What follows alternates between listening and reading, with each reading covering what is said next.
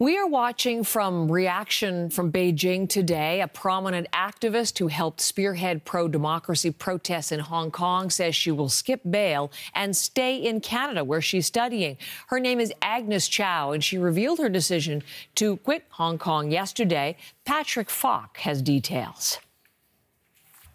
Chow has said that she plans to seek asylum in Canada. And as you can imagine, the past few years has taken a toll on the 27 year old in her Instagram post, uh, which she used to mark her 27th birthday, she said that she was suffering from mental health issues as a result of the pressure and restrictions that had been imposed on her while she was awaiting trial for national security charges. Now, she also revealed in that post that she was required to meet certain conditions in order to be allowed to leave Hong Kong and come to Canada to study. She was forced essentially to write a repentance letter uh, apologizing for her past political actions. And uh, she was also seemingly forced to go on a tour of Shenzhen, where she was essentially hauled around political exhibitions and was made to pose for photographs, which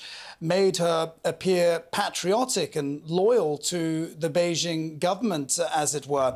A lot of people might say that she has played a long game here. She was released from prison around two and a half years ago after uh, a seven month jail term for protest related charges.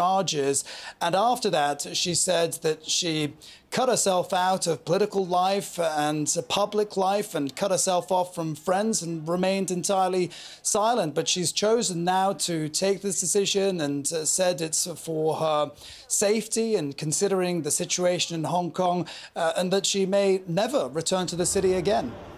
That's Patrick Fok from Singapore this morning.